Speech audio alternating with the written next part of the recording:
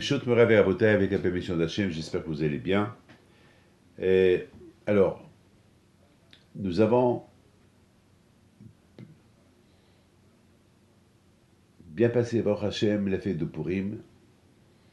Et cette, fête de Purim, bien sûr, elle nous laisse beaucoup de, sensations, de sentiments, de joie, de, et, nous a laissé, mais comme on dit, euh, elle nous manque déjà. C'est pas le vin qui nous manque, c'est pas la boisson qui nous manque, c'est pas les gâteaux, les mercredi et les cigares sucrés et toutes ces bonnes choses sucrées que nous avons mangées. Et la Seouda est bien, bien, bien, bien, bien servie. C'est pas ça qui nous manque. Ce qui nous manque le plus, c'est le spirituel qui entoure cette fête de Purim. Alors, nous allons essayer plus ou moins de comprendre. Vous savez que nous sommes maintenant en plein. On, vient de lire par exemple la paracha de. Cette belle paracha de. Comment ça s'appelle De. Des. De. De Kitissa. La Torah, elle veut que lorsqu'on calcule les Juifs, il ne faut pas les calculer 1, 2, 3, 4, 5, 6, 7, 8, 9, 10. Il faut les calculer avec des... Chacun il apporte un objet. Et après, on compte les objets. Et pour savoir exactement combien il y a. Alors, chacun il apporte euh, un demi-shekel. Et après, on compte les shekels, combien des juifs il y a. Pour savoir combien de juifs il y a. Alors maintenant, qu'est-ce qu'on faisait avec cet argent? Alors cet argent-là, ça servait pour euh, les frais du temple. Alors vous savez qu'à l'époque, il y avait le Beth il y avait des sacrifices.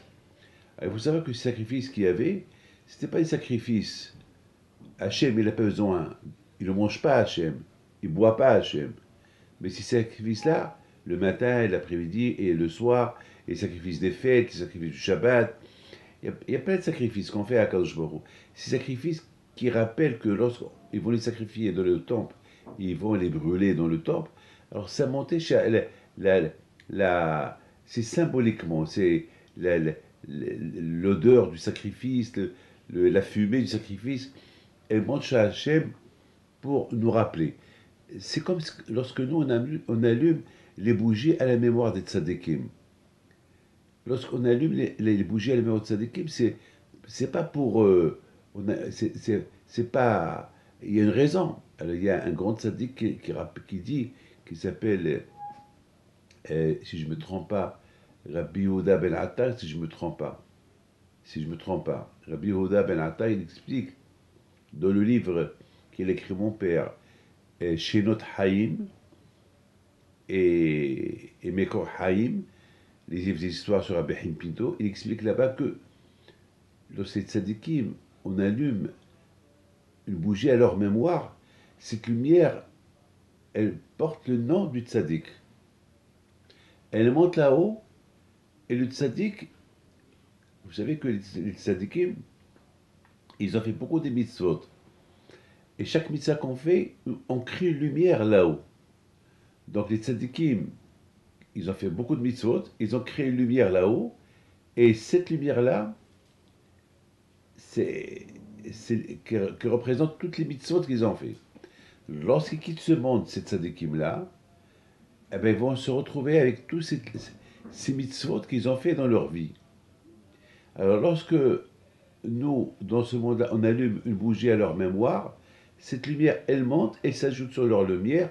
Eux, les tzadikim là-haut, le tzaddik sur laquelle j'ai allumé cette bougie, il voit une lumière supplémentaire qui s'ajoute sur ces lumières.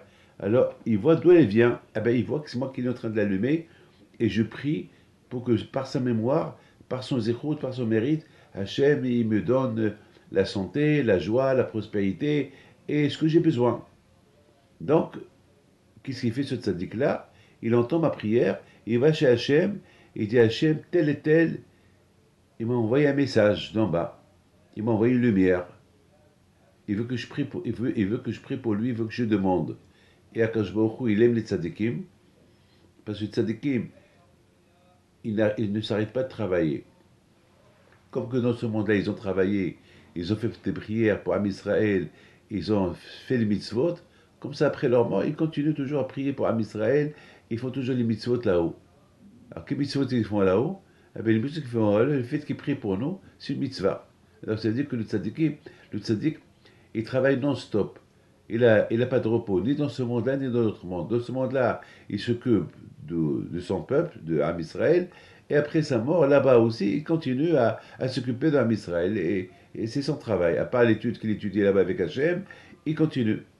Donc, mes amis, que, donc, mes amis, il faut savoir que à, que à Purim, bien sûr, euh, euh,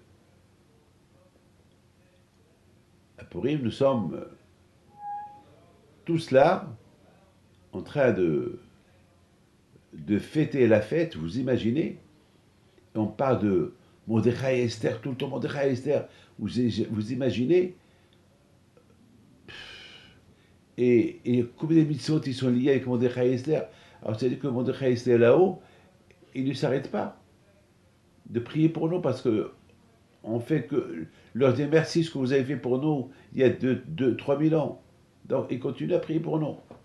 Mais mes amis, il faut savoir une chose, qu'à l'époque, lorsque on faisait les sacrifices dans le Beth Amikdash, alors ces sacrifices-là, ils montaient chez Hachem et Hachem il voit que, étant donné que les sacrifices qu'ils faisaient dans le Beth c'était avec l'argent de nous tous, parce que si on prend la moitié du shekel de chaque juif, donc tous ces shkalim-là, ils sont, ils sont stockés au Beth avec ça, les Kohanim, ils achètent les bêtes qu'ils vont sacrifier à Akash chaque jour. Et le Shabbat, il avait des fêtes, et les fêtes. Donc, Akash il voit dans chaque animal sacrifié dans le temple, il voit les noms de chacun de nous. Donc, ça rappelait à Akash qu'on est là, on est présent. Donc, Akash il voit qu'est-ce qu'on a besoin et il nous répond.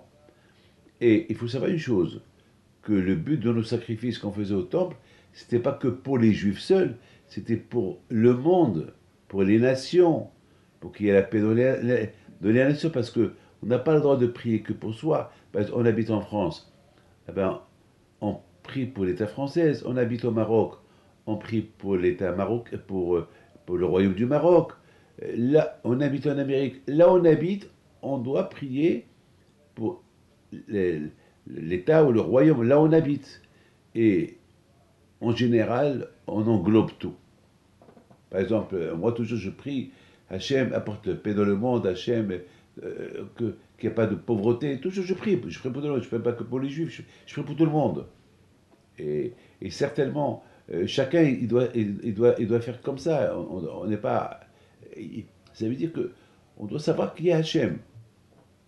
Donc, vous avez compris que c'est la raison pourquoi Hachem, il a voulu que chacun de nous, il, a, il fait ce sacrifice-là de vraiment, vraiment c'est un sacrifice, de, vouloir, de pouvoir penser à chacun de nous, c'est un sacrifice. Parce que chacun, il veut penser à sa femme, à ses gosses, et chacun veut penser à, à sa famille. Non, il faut penser à tout le monde, à ton projet comme toi. Ça, c'est la paracha de cette semaine. Et ce qui est impressionnant dans cette paracha-là, elle nous parle aussi de, du veau d'or. Et nous parle le veau d'or que les Juifs ils ont fait. Ah, maintenant, il faut savoir que. Alors, moi, j'adore trouver un lien avec la paracha de cette semaine et avec Purim. Et quel est le rapport avec le veau d'or Cette paracha, on parle qu'on doit apporter les shkalim, les demi-shekels, pour financer les, tous les sacrifices qu'on faisait dans le temple, primo, on parle du veau d'or que les Juifs ils ont fait, pardon, on parle du Shabbat, et après on parle du veau d'or qu'ils ont fait, et en même temps cette semaine c'était Purim. Donc euh, c'est quoi le...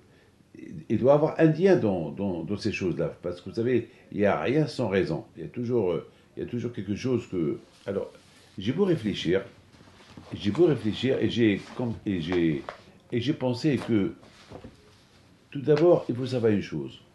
Tout d'abord, il faut savoir que la racine de Haman qui détestait les Juifs. Haman détestait les Juifs, pourquoi? Parce que il y a un Juif qui s'appelle Mordechai, que lui, il ne veut pas se prosterner, devant lui.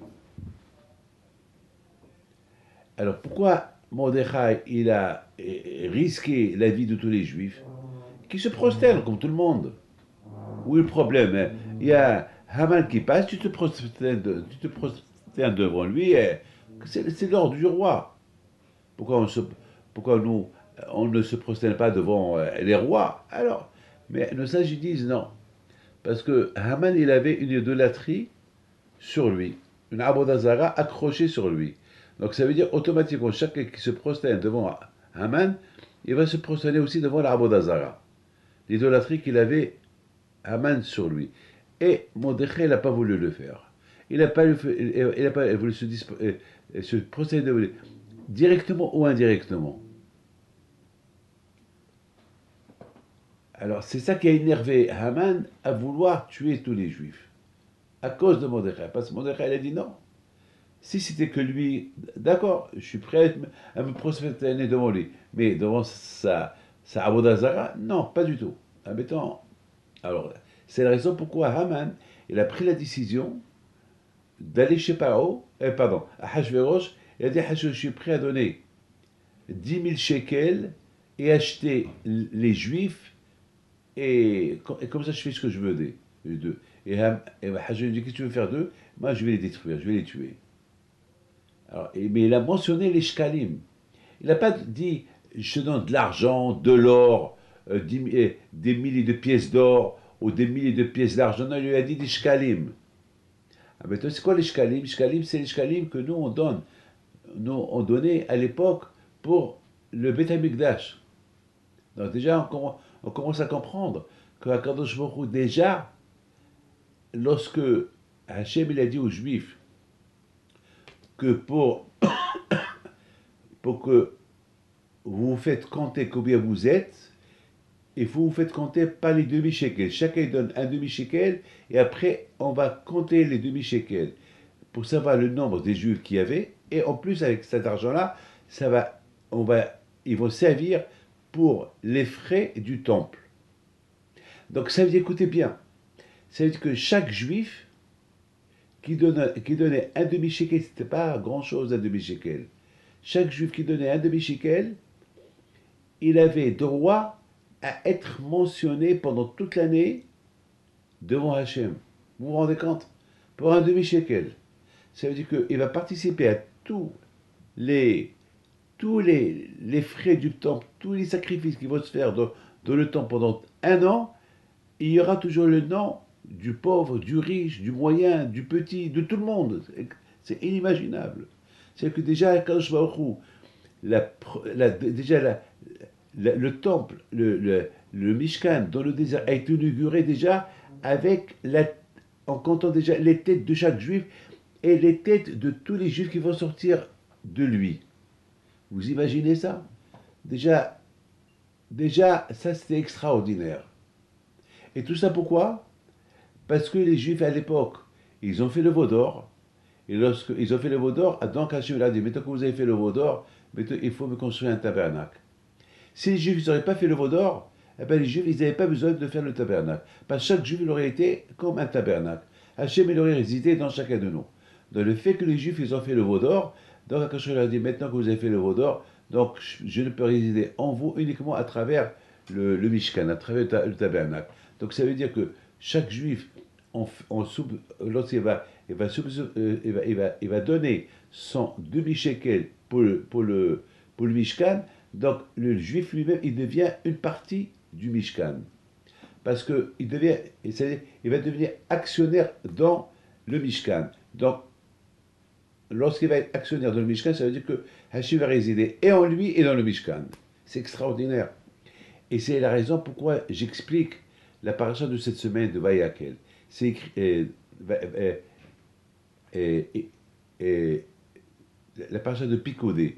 C'est écrit Elle est Pikodé à Mishkan, Mishkan à Deux fois la Torah dit Elle est Pikodé à Mishkan, Mishkan à Écoutez très bien, très bien ce que je vais vous dire. C'est quoi et les picoudé à Mishkan, Mishkan à Voici le calcul du Mishkan, le Mishkan de la Torah. La Torah, elle aurait dû dire une seule fois Mishkan. Elle est picoudé à Mishkan à Edut. Voici les calculs du Mishkan, du tabernacle, où il y a l'étape de la loi. Pourquoi la Torah dit deux fois Mishkan, Mishkan? Elle est picoudé à Mishkan, Mishkan à Edut. Voici les calculs du Mishkan, le Mishkan où il y a la Torah. Deux fois Mishkan, Mishkan, c'est pas normal.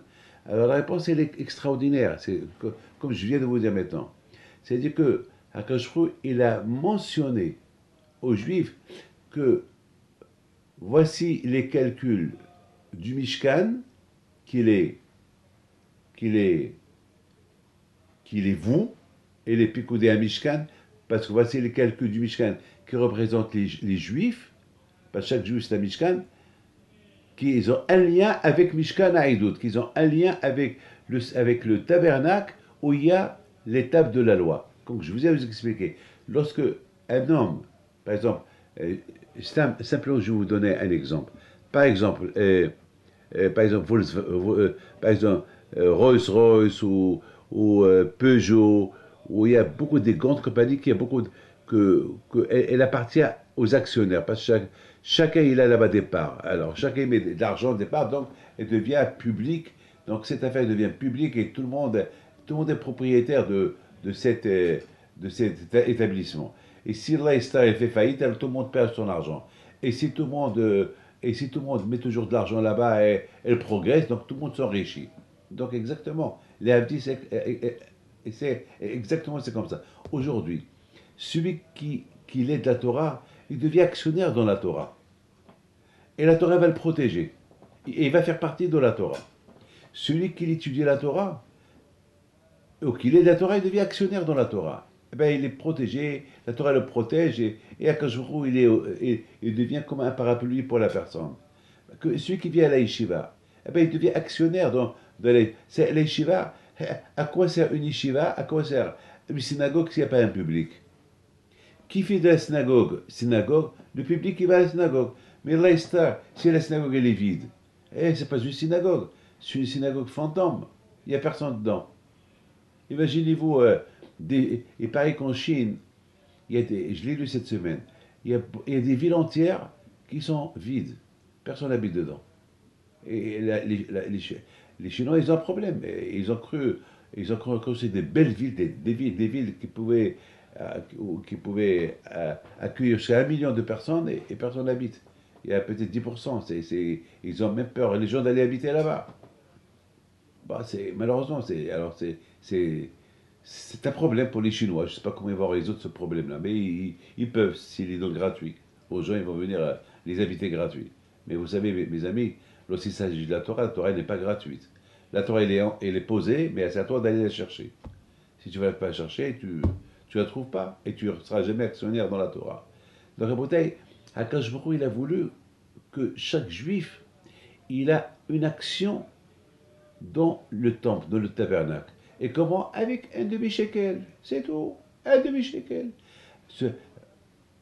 lorsque chacun donne un demi-shekel, vous imaginez, chacun donne un demi-shekel, après ça devient, ça devient, euh, après il y a une belle somme d'argent là-bas. Avec cet argent-là, il faut subventionner pendant toute l'année tous les sacrifices. Et chacun, il a une action dans le temple. Et chacun, il est mentionné devant Baruch Et lorsque le sacrifice est brûlé, et l'odeur elle va chez Hachem, il y a les odeurs de toutes les chameaux des juifs qui montent chez Akadosh Baruch et, et Akadosh Baruch il regarde tout le monde. C'est extraordinaire. Donc je pense que c'est ça, c'est ça. Et en plus, lorsqu'il y a ça, donc chaque juif, il devient, euh, euh, il reçoit l'auréole d'Hachem en lui. Donc c'est la raison pourquoi la Torah dit, elle est picodée à Mishkan, Mishkan Voici les calculs du Mishkan, voici les calculs. Voilà comment l'homme, on peut le calculer et le comparer au Mishkan, Haïdout, uniquement lorsqu'il fait partie du Mishkan Haïdout, lorsque, lorsqu'il fait partie de lui. Ça veut dire lorsqu'il devient actionnaire avec le Mishkan Haïdout. Lorsque le, juif est actionnaire dans le Mishkan Haïdout, ça, fait partie. Beaucoup de fois, il y a des gens qui me disent euh, euh, Je fais partie de telle et telle société. Ah bon? Oui, je suis actionnaire. J'ai là-bas 1000 actions, 2000 actions, je suis actionnaire là-bas. Alors voilà, quelqu'un, beaucoup de fois mes amis ont mis sur une action. L'action, elle monte. Elle monte, tu montes, toi aussi. L'action, elle tombe, tu tombes. Alors, si on parle du côté spirituel, lorsque de plus que tu es attaché à, Hachem, ton action, elle monte chez Tu montes. Mais lorsque tu fais une avera, eh ben, ton action, elle tombe. Peut-être même tu peux perdre le contact avec Hachem. Et tu peux, spirituellement, tu peux faire faillite. Donc vous avez compris, c'est ça, mes amis. Je pense c'est c'est ça ce que la Torah elle veut nous enseigner. La Torah elle veut nous enseigner que déjà la plus belle action des actions c'est le Shabbat. Le chiffre le Shabbat, le chiffre 7. Yom HaShvei, Yom HaShabbat. C'est-à-dire, Hakadosh Baruch vous savez, la Gemara dit, la Torah, la Gemara dit, le Talmud dit que celui qui respecte Shabbat, il devient, il devient associé avec le bon Dieu. Vous vous rendez compte? Parce que si je fais Shabbat, ça veut dire que je crois que Dieu a créé le monde. Et le septième jour, il s'est reposé. Donc, c'est que, donc, automatiquement, tu deviens non, seulement actionnaire dans la création du monde, mais tu deviens associé dans la création du monde. C'est comme, c'est du gratuit.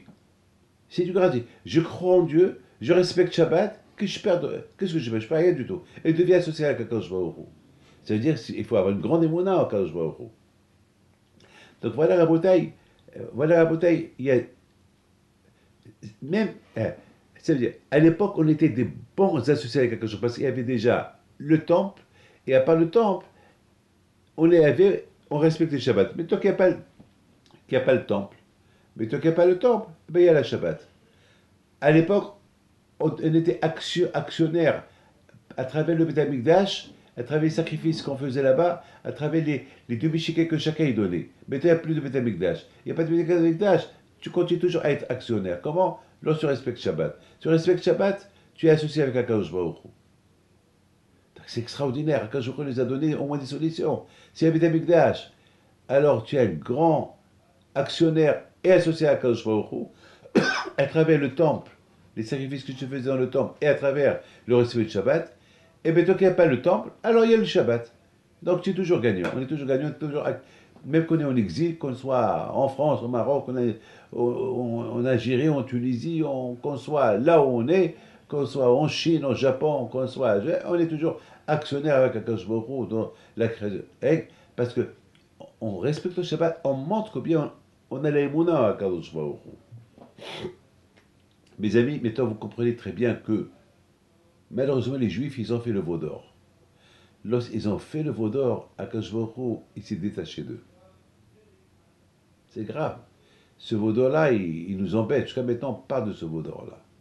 Chaque fois que le Juif ne suit pas le chemin d'Hachem, le bon Dieu lui rappelle le veau d'or. Donc ce veau d'or-là que, nos parents ont fait, il, nous a, il a marqué le peuple juif jusqu'à jusqu'à la, la, venue de Mashiach.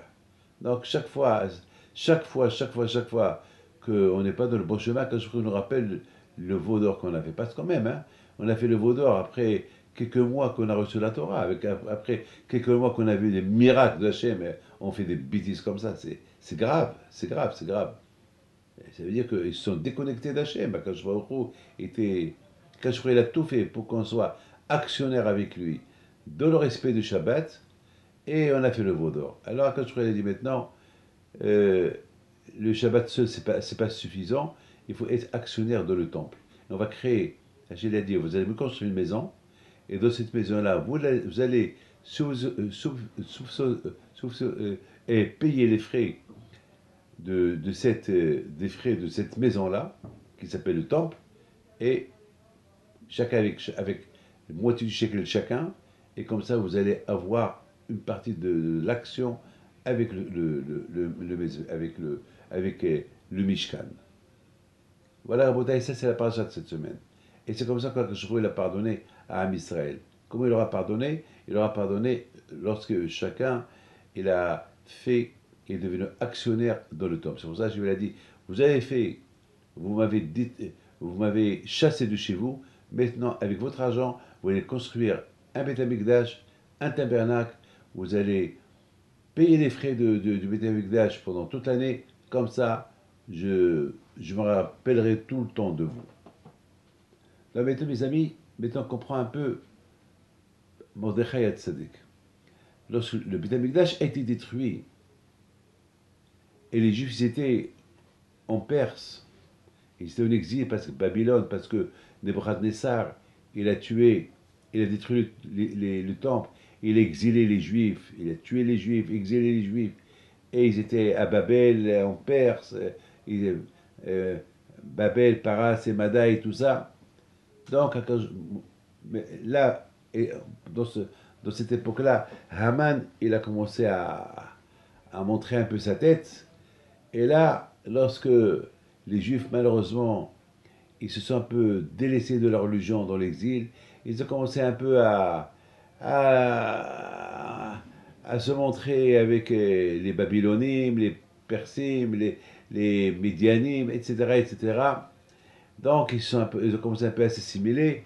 Donc, quelque part, ils ne faisaient pas attention à leur religion. Donc, Hachim leur a envoyé un Haman avec un arbre d'Azar, avec une idole que tout le monde se prosternait devant lui. Et voilà, béton Haman, il a voulu les acheter les Shkalim. On sait très bien qu'à l'époque, c'est les qu'on faisait, les sacrifices. C'était, chacun payait avec les Shkalim tous les frais qu'il y avait au Mikdash pour se rappeler devant Hachem. Maintenant, Haman, il dit à Hashverosh, et ces juifs-là, ils n'ont plus de Mikdash et ils ne donnent plus d'ishkalim pour les fruits de donc ils sont oubliés chez le bon Dieu. Dans le bon Dieu, il n'y a plus de contact entre eux et le bon Dieu, parce que il dit à Haman à Hashverosh, à l'époque, pour que le bon Dieu il les écoute, il y avait un lien entre eux et le bon Dieu, c'est à travers le temple et à travers les sacrifices que chacun donnait sa partie, et, et Hachem les sacrifices se faisaient au, temple, et Hachem, il voyait, il voyait la fumée, il sentait la fumée des sacrifices où il y a le nom de chaque juif, et, c'était ça comme maintenant, puisqu'il n'y a plus de sacrifices, il n'y a plus de contact, il n'y a plus de vétamigdash, donc le bon Dieu, leur Dieu les a abandonnés. Donc peut-être ils sont dispersés un peu partout, regarde, même l'idolâtrie les font. Et lorsqu'il n'y a pas de contact avec le bon Dieu, donc automatiquement il n'y a plus de Shabbat, et s'il n'y a plus de Shabbat, donc automatiquement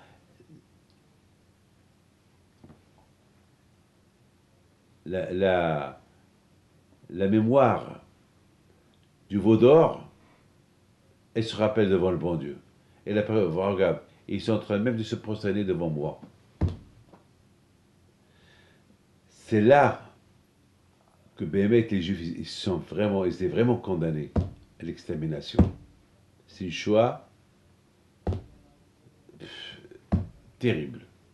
Et Baruch Hashem, grâce à Dieu, il y avait un juif il s'appelle Mordechai. Mordechai lui Mordechai, il a dit bon, de toute façon, de la même façon que Moshe Rabbeinu était l'équivalent de tous les juifs, moi aussi, Mordechai, je suis l'équivalent de tous les juifs. D'ailleurs, il y a le Talmud qui raconte une histoire. Il y avait, lorsque la Xera, le Saman, il a décidé à détruire, à tuer les juifs, et il y a un, un navire parti chez Moshe Rabbeinu, dans le ciel. Il a dit, Moshe, réveille-toi ton peuple, que, que tu as donné ta vie pour ton peuple, et tu as dit à Hachem, efface-moi à la place l'âme Israël, eh ben voilà, ils sont entre les mains de Haman qui va les exterminer. Alors, mon cher Rabbeinu, il dit à Eliyahu Hanavi, est-ce que la Xera, elle est déjà signée? Il lui dit, oui, elle est signée déjà. Alors il dit, est-ce qu'il y a au moins un tzaddik dans, dans ce monde-là euh, qui peut que lui peut m'aider, moi de là-haut, lui d'en bas, il dit, il y a un seul. Lequel? C'est Mordechai. Alors vous voyez que Mordechai, c'était le seul grand sadique de la génération. C'est-à-dire que Moshe Rabbeinu,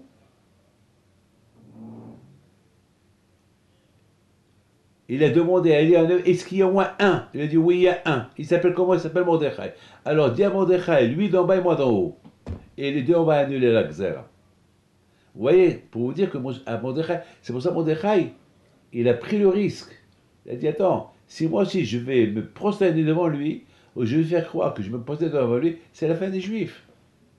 Déjà, il n'y a pas de temple. Ils ont, les Juifs, ils ont perdu le contact avec le bon Dieu. Ils sont plus rappelés chez le bon Dieu. Il n'y a plus de, de Mahat Shekel. Il n'y a, a, plus rien. Et en plus, ils ne font pas Shabbat. Ils sont presque assimilés. Et ils ont profiter du festin qu'il a fait, qu'il a fait Donc c'est fini. Parce que chaque juif, il devait être Mishkan, Ha Mishkan, Mishkan Aïdoud. Chacun, il devait être comme l'équivalent du Beth On a le il est là, et voilà, tu as le juif qui est là, et, et Akash il réside dans les deux. Pourquoi? Parce que, parce que à travers le juif, il paye les frais du Mishkan, les frais, les frais des sacrifices, et les sacrifices sont sacrifiés pour le bon Dieu, et puis qu'est-ce qui se passe? Il se passe que, il se passe que, que le Mishkan et le et l'homme qui s'appelle Mishkan et le Mishkan qui s'appelle le Mishkan d'Hachem, il devient les deux actionnaires un, un avec, il devient uni. Mishkan, Mishkan Aïdot, Ha Mishkan, Mishkan Aïdot. Donc, euh, puisque maintenant il n'y a plus de Mishkan, le juif il s'est assimilé, il n'y a plus de Mishkan, le Bidamikdash, on ne sait même pas où sont les, les tables de la loi, les, le, prophète Amiel les a cachés. Alors, c'est vraiment la fin. Et en plus, maintenant, le Vaudor, euh, la faute du Vaudor, elle se réveille. et en plus, comment elle se réveille? Parce que tout le monde se procède devant, devant Haman avec son idole qu'il a sur lui. Et en plus, ils ont profité du festin qui était euh, qui a fait Hashverosh, qui avait là-bas euh, toutes sortes de euh, les, les, toutes bêtises qu'il y avait là-bas. Donc, donc maintenant. Maintenant, je suis obligé maintenant de maintenir. Et grâce à Dieu, Mordechai a réussi. Et les Juifs, ils ont fait Teshuvah. Et le temple a été construit. Et les Juifs, ils ont dit Benishma. Et les choses sont retournées en ordre. Voilà, Botaï, cette paracha de. Même, même qu'aujourd'hui, il n'y a pas de Vedamikdash, on donne quand même les Mahazit Shekel. Chaque Juif à Purim, on donne la moitié du shekel, et cet argent-là, on les donne aux pauvres. Et on les situe. C'est une, obligation de les donner, même qu'il n'y ait pas le Betamikdash, on les donne aux pauvres. Parce que le pauvre, c'est comme, c'est comme, c'est, c'est comme. D'ailleurs, je voudrais simplement vous dire une phrase. Vous savez que à l'époque de David Ameller, eh, il y avait la famine. Et David Ameller, il savait que il y avait, à l'époque de David Ameller, il n'y avait pas le Betamikdash. Il n'y avait pas encore le temple. Il n'y avait que le tabernacle, le Mishkan il n'y avait pas le vrai, la construction du temple dans le mont Sinaï, dans le mont, le mont euh, la montagne de Sion. Il n'y avait pas encore. Alors David Amelech, il a ramassé l'argent. Il y avait la famine. Et pendant qu'il y avait la famine, au lieu que David Amelech, il donne l'argent aux pauvres, il les a cachés. Donc il y a eu beaucoup de juifs, des pauvres, ils sont morts à cause de la famine. Lorsque lorsque David Amelech, il est mort, et Shlomo Amelech, il devait construire Beth il n'a pas utilisé l'argent de son père qu'il a caché pour la construction du Beth Pourquoi? Parce qu'il a dit au lieu qu'il les donne aux pauvres, il les a cachés. Donc moi je ne veux pas utiliser cet argent-là qui va rappeler aux gens, c'est l'argent que David devait donner aux pauvres, il ne leur a pas donné, ils sont morts par la famine. Donc Shlomo il a, il a cherché d'autres argent, d'ailleurs, qu'il n'a pas utilisé l'argent de son père. De là, vous voyez que, que parfois, euh, c'est mieux de donner l'argent aux pauvres qu'ils n'ont pas de quoi manger que de construire le Betamikdash avec. Bien sûr, si on doit construire une synagogue et on, a des gens affamés qui n'ont pas de quoi manger, eh bien, il faut leur donner à eux à manger et ne pas construire la synagogue. Parce que, parce que chaque, chaque pauvre, c'est, il représente une synagogue. Donc maintenant, même qu'il n'y a pas le Betamikdash, donc l'argent qu'on donnait, qu'on ramasse pour le Mahas Shekel, on les donne aux pauvres et c'est comme si on les a donnés pour. Et Akash on dit au et Akash lorsqu'il voit euh, ces gens-là qui mangent l'argent, ces pauvres-là qui mangent de l'argent que d'autres leur ont donné, donc Akash il voit de là-haut, il, leur donne des récompenses. Ça veut dire qu'il faut sentir Hachem partout. Je voudrais vous raconter une belle histoire que j'ai lue ici. Et une fois, le, le rabbi de Belz, il raconte cette histoire. Il raconte, il dit qu'une fois, il y avait, il y avait euh, deux, deux Hasidim que leur rabbin, à eux, il est mort. donc ils sont partis ce, ce, le, le, le tzaddik Mistral, Mistralisk. Mistralisk. Un tzaddik qui s'appelle le tzaddik du Mistralisk. Un, grand, ils sont partis chez lui pour, de, pour, être, euh, pour devenir ses, ses hasidim. Alors le rab, il les reçoit. Et voilà, il leur pose des questions. Il leur pose des questions il, leur dit, il dit, est-ce que vous croyez vraiment en Dieu? Ils ont dit, bien sûr qu'on croit en Dieu. Et quelle est la question? Est-ce qu'ils ont dit, il leur a posé la question, Est-ce que vous croyez dans la providence divine, que tout ce qui se passe, ça vient d'Hachem? Ils ont dit, bien sûr. Et comment? Alors, elle leur a dit, venez avec moi. Ils sont pas, il les a pris devant la fenêtre. Il y a un chariot qui passe, un chariot qui transportait de la paille. Et vous savez très bien que un chariot qui transporte de la paille, il y a toujours un peu de vent, il y a un peu de paille qui tombe du chariot. Et il leur a dit, est-ce que vous croyez que en Dieu, que c'est Dieu qui a voulu que cette paille, elle tombe du chariot? Ils n'ont pas répondu. Et vous croyez que ce chariot-là, il devait passer maintenant pour que nous on le voit Et il devait tomber devant nos yeux quelques pailles par terre Ils n'ont pas répondu enfin, il ne savait pas quoi répondre. Enfin, on n'a jamais, jamais entendu parler de cette question. Personnellement, moi, David Pinto, j'ai vu euh, au Maroc beaucoup de chariots qui, euh, pleins de paille qui passent. Euh, je me suis jamais posé la question est-ce que c'est Hachem qui a voulu que ça passe maintenant pour que je la voie que c'est Hachem qui a voulu que cette paille-là, elle tombe là, là, et là, et là, et là Non. Alors le Rav, lorsqu'il les a vus qui ne répondent pas, il a dit Bon, vous partez d'ici, réfléchissez un peu, et après, venez donnez-moi votre réponse. Bon. Bah, ils avaient la peine parce qu'ils ont cru qu'il allait leur faire le bracha. On dirait qu'il les a jetés. Ils sont partis. Chacun est parti chez lui. Ils ont commencé à réfléchir. Chacun de son côté réfléchit. Nous, on n'est que des êtres humains. Chacun pense. Si par exemple, nous, on aurait perdu de l'argent, une belle bague en or, on va avoir de la peine. Waouh Mais si par exemple, je perds une assiette, une assiette en papier, une assiette en plastique, c'est rien du tout. C'est-à-dire que chez nous, on donne l'importance à quelque chose qui est importante, une chose qui n'est pas importante, on s'en fout d'elle. Je répète, il y a une différence chez nous si on perd un gros diamant ou si on perd un verre en, plastique, un verre de plastique, on les jette. Bien sûr que chez nous, il n'y a que des choses importantes qui, sont importantes devant nos yeux. Par exemple, imaginez-nous que j'ai une Rolls-Royce. Comme la vol. On m'a volé un, on m'a volé un stylo. Un stylo, c'est bidon. Bien sûr, je vais avoir plus de la peine pour la Rolls-Royce que pour le stylo. Parce que nous, on fait la différence entre ça et ça. Mais chez Akadosh que lui, il a créé le monde, chez Akadosh c'est rien pour lui. Un diamant, ou un... Ou un pour, pour tout est pareil. Chez Akadosh tout ce qu'Hachem a créé, pour lui, c'est pareil. Et chez Akadosh et chez il y a une importance d'un diamant Non. Parce que chez un diamant, c'est lui qui l'a créé. chez nous, qu'on donne l'importance au diamant pas à Kadosh Baruch Kadosh n'en a pas l'importance de dire. Pour lui, tout est pareil. Et de voir Kadosh Baruch il y a une différence entre un papier et un diamant Non. Chez nous, oui. Alors, ça veut dire quoi? Ça veut dire que. Puis, ça veut dire que. Puisque maintenant, nous on croit Baruch chez lui, tout est pareil. Alors ça veut dire quoi? Ça veut dire que tout ce qui se passe de le monde chez c'est pareil. Les avions, un grand avion, un petit avion, un, diamant, un papier, tout est pareil, tout est pareil chez Akash Chez il n'y a pas de ça c'est grand, ça c'est petit. C'est rien, c'est lui le créateur.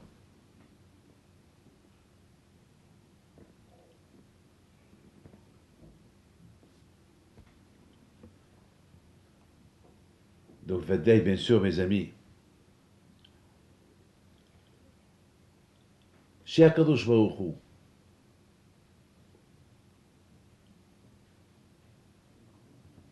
וכי יש בעיני השם את חילוק בין דברים גדולים ודברים קטנים, ולפי זה מה חילוק יש בעיניו באם נופל קש על הארץ ובין עם, עם כל הארץ, maintenant chez Akadosh Baruch Hu, un morceau de papier qui tombe, maintenant chez Akadosh Baruch Hu, une, un chariot qui passe, il y a un peu de paille qui tombe. Bien sûr, chaque Baruch puisqu'on on, vient de dire que chaque Baruch il n'y a, aucune différence chez entre les grands et les petits. Donc là aussi, s'il y a une, un chariot qui passe, c'est voulu que c'est voulu de chaque jour que ça passe.